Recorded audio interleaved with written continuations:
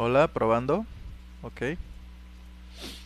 Bueno, eh, en este video vamos a explicar cómo fue que se creó el sitio web para la actividad, la evidencia de aprendizaje de la unidad 1 de la materia de desarrollo web 2. Bueno, este, primero que nada, voy a abrir la carpeta donde yo tengo los archivos del sitio web. Se encuentra por aquí. Aquí está. Entonces, estos son todos los archivos que están involucrados en la creación del sitio web. Eh, los principales son index.html y style.css. Entonces voy a abrir index con un editor de texto. Y como se puede apreciar, eh, este es el código fuente de la página web lo primero que se ve aquí es la licencia. Estoy usando la licencia MIT eh, yo agrego esta licencia en todos los archivos de código fuente que hago que son software ah, de código abierto. Y a, grandes rasgos pues esta es la estructura de la página web. Este en, como se puede ver este es el encabezado donde se agregan las ligas a Bootstrap. Aquí tengo una fuente personalizada de Google este, aquí tengo la liga a la hoja de estilo que utilizo, que también voy a mostrar. El título de la página web está acá. Y este, el juego de caracteres que estoy utilizando, que es UTF-8. Bueno, todo eso va dentro de, la de este del, elemento head o, encabezado y aunque no se muestra directamente en la página este pues ahí está el elemento body, que es este, contiene todo el contenido, todo lo que realmente va a aparecer en la página web. Empieza desde acá. Este, y yo dividí, este, estos son comentarios que puse, pero básicamente yo dividí la página web en secciones. Eh, esta sección es el encabezado. Y esto abarca, vamos a abrirla acá. Vamos a abrir la página web. Eh, esta es la página web. El encabezado abarca toda esta, esta barra de menú principal arriba. Para mí eso es la sección de encabezado, header. Este que parece un botón realmente es una liga, pero con la hoja de estilo hago que parezca como si fuera una imagen tipo botón. Realmente es una liga. Veamos, este, es acá, ¿dónde era? Acá. Ok. Eh, estoy usando la forma de trabajo que se publicó para el estándar de Bootstrap. Este, entonces prácticamente estoy utilizando las clases que ellos crearon eh, para realizar este, pues ese formato, ¿no? En la página web. Eh, igual con Jumbotron, este, la clase Jumbotron acá ya existe en Bootstrap y se utiliza principalmente pues para mostrar este así ampliamente un elemento principal. Esa clase jumbotron está aquí. Es donde la que contiene este video este donde explico cómo funciona el formato de la plantilla APA este sin embargo este video es, ya lo hice hace tiempo. Estoy apenas voy a este terminar. Estoy produciendo un nuevo video ya más actualizado pues estoy reutilizando este que hice en el pasado eh, de momento no entonces Aquí podemos ver que tengo tres fotografías con contenido. Este, explicando las características principales. Y eso aparece aquí. En la sección Feature. Aquí. Entonces, eh, sigo utilizando las clases de Bootstrap. Y agrego unas clases eh, propias que voy a explicar cuando chequemos style.css. Eh, pero principalmente la estructura del sitio web es muy sencilla no tiene este nada del otro mundo, podría decirse. Y la sección de video de forma similar, igual utilizando clases que ya vienen en Bootstrap con algunas este, personalizadas que veremos adelante, pues ya se crea la estructura básica de la página web. Entonces esto no no tiene este gran ciencia, ¿verdad?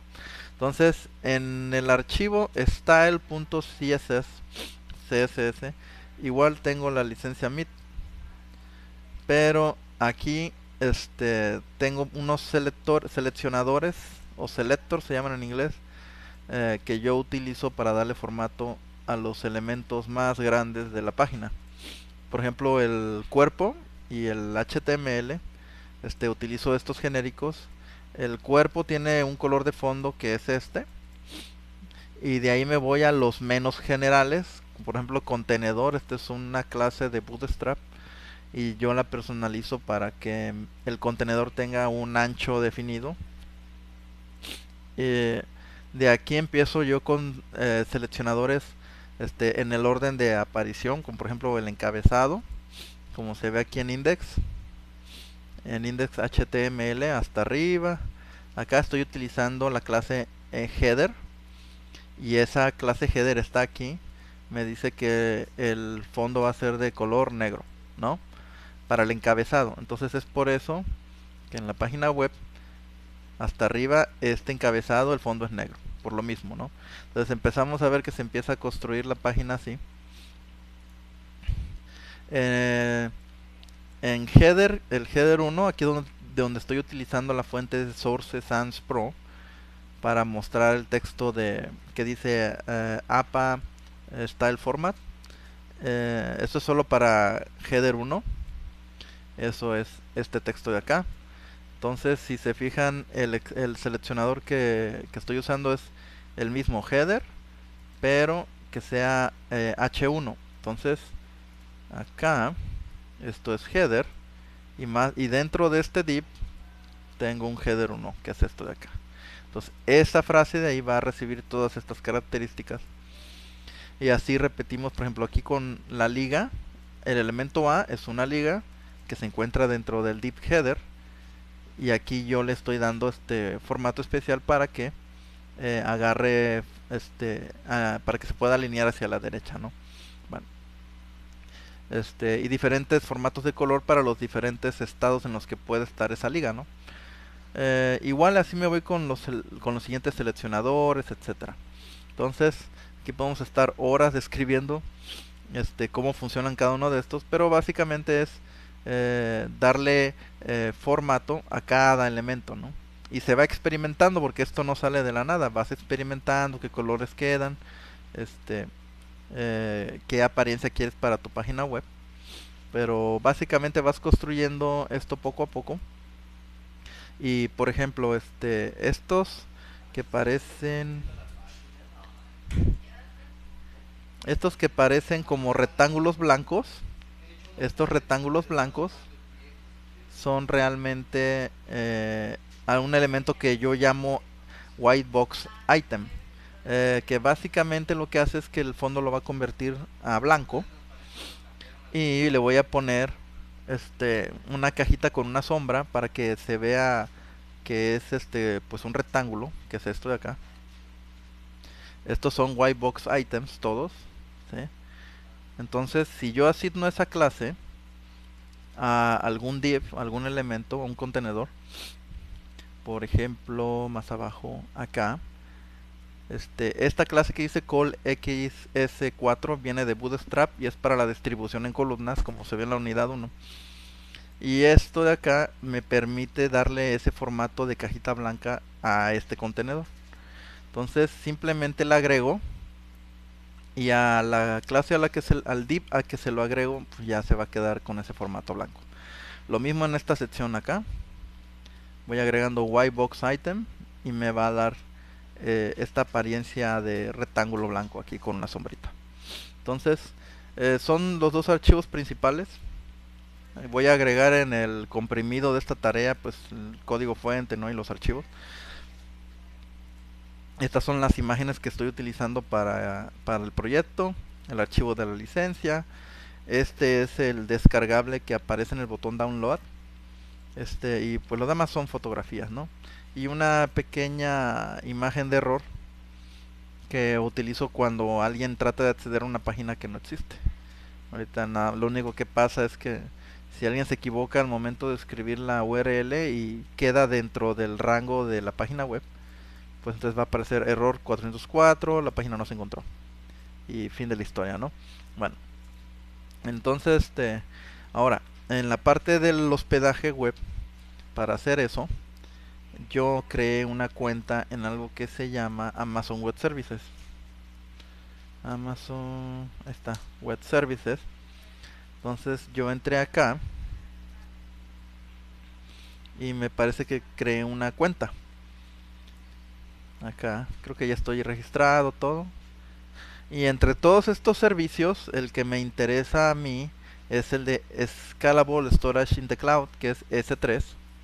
Antes me parece que se llamaba Simple Storage Service y ya lo cambiaron después, pero bueno. Y yo aquí creé algo que se llama una cubeta en inglés, que le dicen ellos una bucket.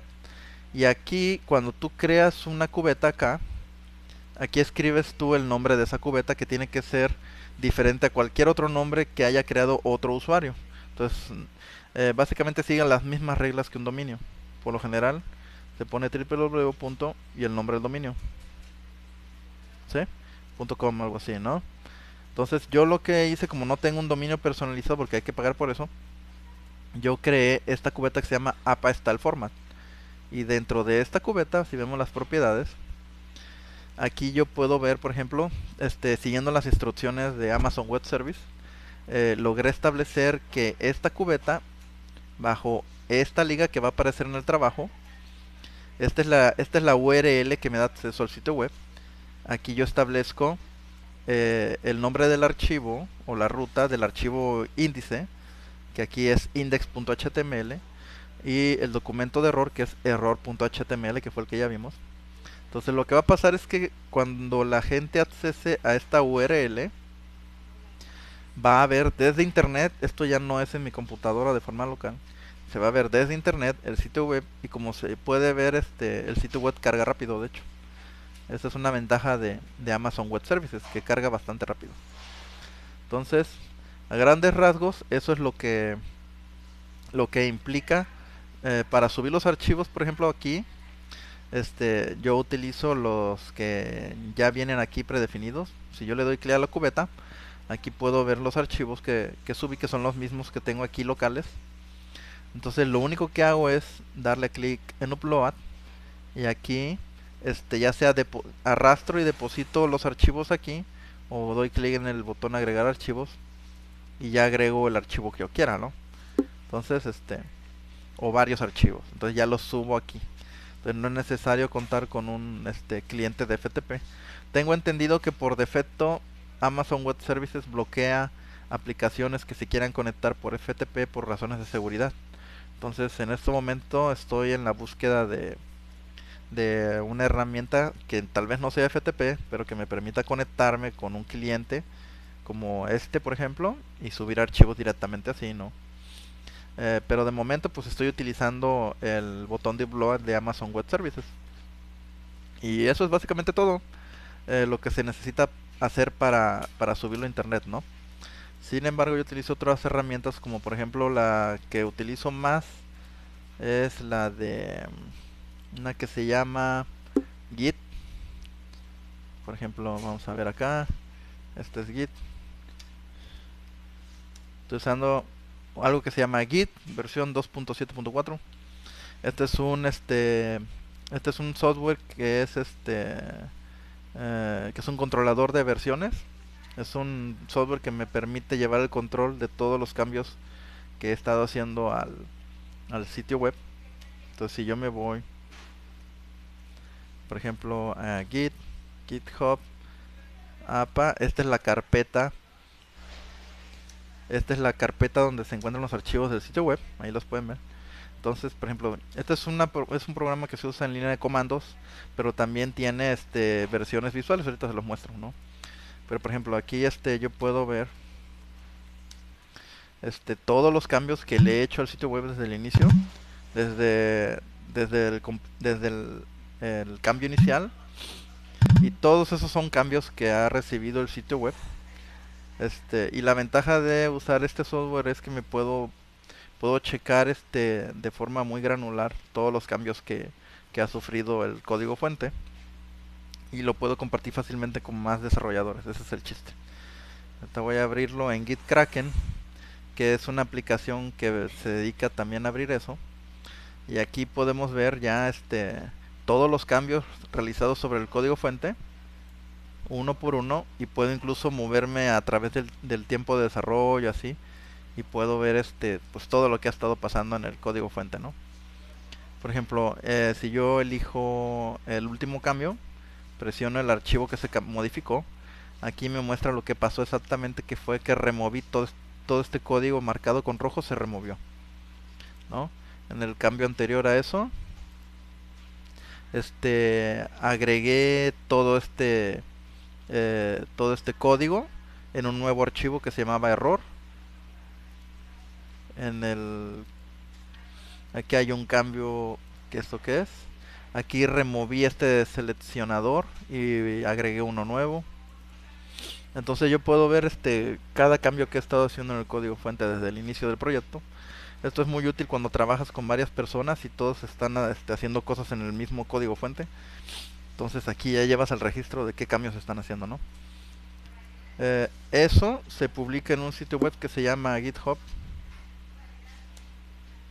Y de hecho actualmente eh, les voy a agregar ahí el, la URL de esto que es este aquí.